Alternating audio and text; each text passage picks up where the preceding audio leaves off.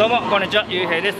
さてね今回また実家にね向かう向かっているところでございます。1ヶ月くらい前にもう実家行ってるんで今回はねもう行かなくていいかなと思ってたんですけども結局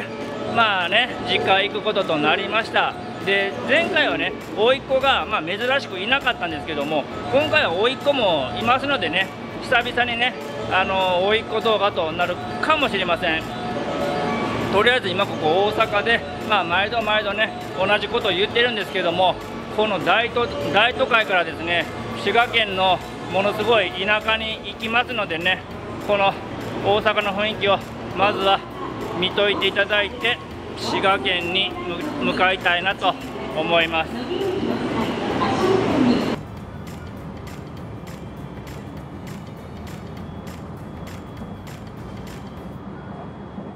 さあ無事にね実家に到着しました。ここ庭なんですけどね一応一応庭なんですけども見てください。この緑あの大阪のね大都会とは違う感じがしますよね。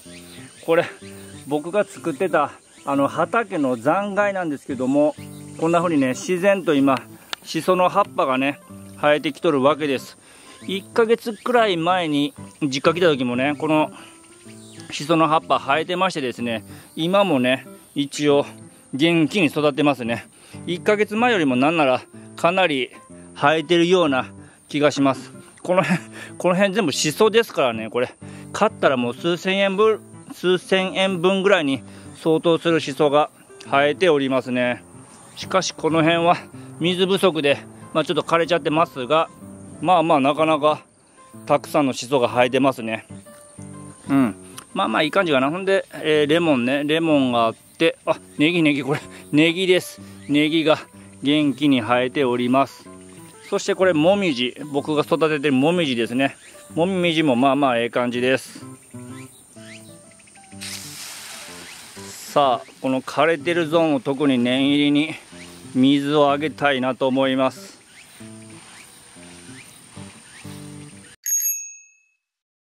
はい。というわけでね無事に滋賀県に着きましたのでなんとなくね山の中を 散歩してみたいなと思います。いやそれにしてもね本当はね今回あの実家に来る予定はなかったんですよね。なかった。だけどそのなんやかんやねちょっと来てくんないかみたいな感じで来たわけなんですよね。でねまあ今回ちょっとお話ししたいことがあるんですけども無職ってね結構便利にね使われがちなんですよまあ便利に使われるっていうとちょっと言葉が悪いんですけどもあの無職やってると、まあ、暇でしょっていうところから始まるんですよね多分ね。で、まあ、お金もないんでしょっていうところからあのバイト代としてねお金払うからちょっとなんかやってくんないみたいな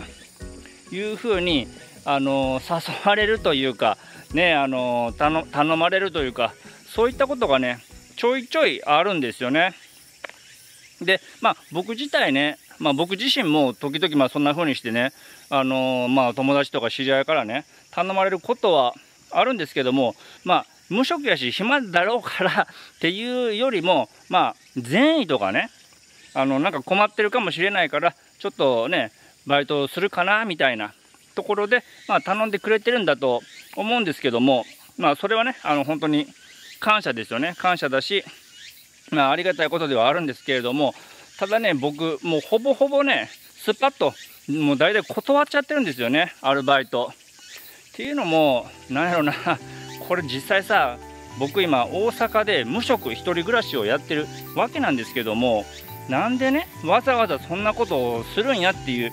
話なわけなんですよね。あの仕事もないんだったら実家でニートやってりゃええやんかと。いう話になると思うんですけども実家だとねなんだかんだも動きづらいっていうのがあってですね、まあ、場所も田舎やしね。ということがあって僕はあの大阪に出てきてですねわざわざわざわざね無職なのに大阪に出てきて1人暮らしを始めてですねあの自分の好きなように活動をしてですねなんとか自分でね稼ぐ力を身につけてちゃんと生きていけるようになりたいなと思ってそういう、まあ、そういう思いのもとあの今大阪でね無職1人暮らしをやってるんですよ。ただまあその1年ぐらいね、まあ、無職1人暮らしやってるんですけども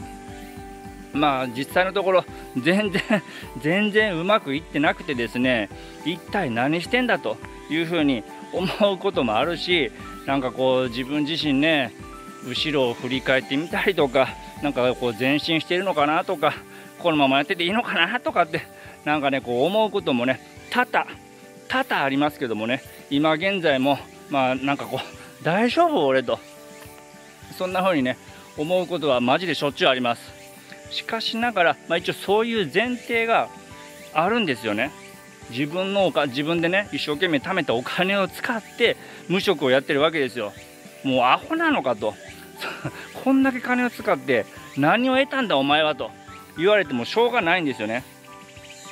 でせっかくのねせっかくのバイトを断って お前何しとるんだと。いうようなご意見もあるのかなと思いますしもうそこをね全く否定する気はないんですけどもただその分かっていただきたいのは僕の思いとしてはそのアルバイト友達とかね知り合いの方からのアルバイトをやるっていうのはあんまり意味がないんですよね。そのまあ、知り合いとか友達からのアルバイトってちょっと助けてくんないっていうことですよね実際実際のところは。んで、まあ、ちょっと助けてほしいし、まあ、バイト代出せばウィンウィンだろうみたいなそういう考えがあると思うんですよ。僕にとってもいいし、まあ、自分にとってもいいよ。っていうことかなと思うんですけども僕にとってはその何やろなそのもしもね本当に困ってんだったらなんかねその問題を解決するためになんかね一緒にその、まあ、助けてあげる、まあ、なんか何か手伝ってあげるっていうのは別にやぶさかではないんですけども、まあ、アルバイトとしてねウィンウィンだろうというんであれば別にアルバイトはしたくないんですよね僕。確かにアルバイトしてね1日1万円とかもらえるかもしれないんですけどもそれってさその1回で終わりですよね。あの今日手伝ってくれてありがとう。ああいえいえ。それで終わりじゃないですか。だからそれは僕にとってはねなんというかこう意味がない。積み上がってる感じがしないんですよね。なんだかんだ言ってその自分で稼げる力をつけたいなっていうところからは全然意味のない行動なんですよね。でタイミーでね僕アルバイトもしてるんですよ単発バイト。だけどそっちのバイトは自分から取りに行ってるっていうところがあるんでその自分から取りに行ってバイトをする能力がまあその大したことじゃないですけどもまあ、またねまたバイトしたければまたタイミーでバイトをすることができるわけですよ。自分から取りに行けるわけです。だからそのたあの単発バイトといえども、まあ、単発で終わ終わる終わるのか終わらせないのかっていうのは自分で決めることができるわけなんで、まあ、頼まれたバイトをポンとやってはいありがとうで終わることではないんですよね。だからなんかそのね だからその人人から頼まれたアルバイトっていうのはなんかお手伝いですよね。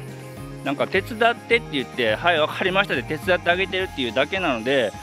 僕にとってはなんか人助けとか人の手伝いしてる場合じゃないでしょっていう気分になっちゃうんですよ。そんなね人の手伝いしてる時間があったら僕僕の僕だったら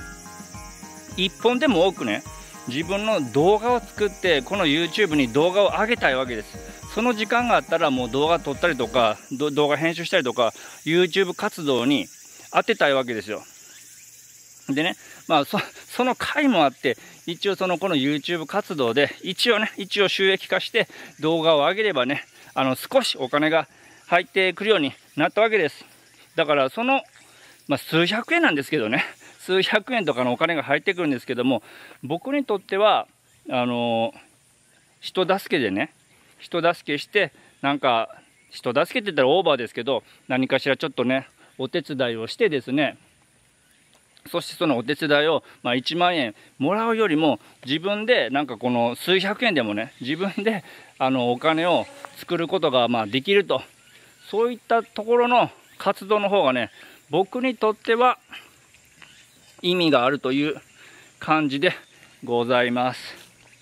そんなわけでねあのせっかくのねアルバイトとかねちょっと時々ね頼んでくれる人いるんですけどもサクッと断ってしまっているという状況なわけですよね。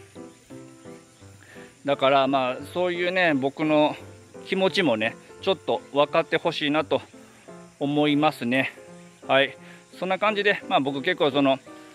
無職でね時間をねまあその余らしてると思われがちなんですけどもなんやかんやねまあこの YouTube に例えばねこの YouTube に動画が上がるということはそれだけ時間を使ってるということなんで結構ねまあ忙しくはしているわけでございます。まあそんな感じの僕の日常の動画をですねこのチャンネルではいろいろと上げておりますのでもしよかったらですね、えー、他の動画も見ていただいてこのチャンネルの続きが気になる方はですね是非高評価とチャンネル登録よろしくお願いいたします。それではまた次回の動画でお会いしましょう。バイバイ。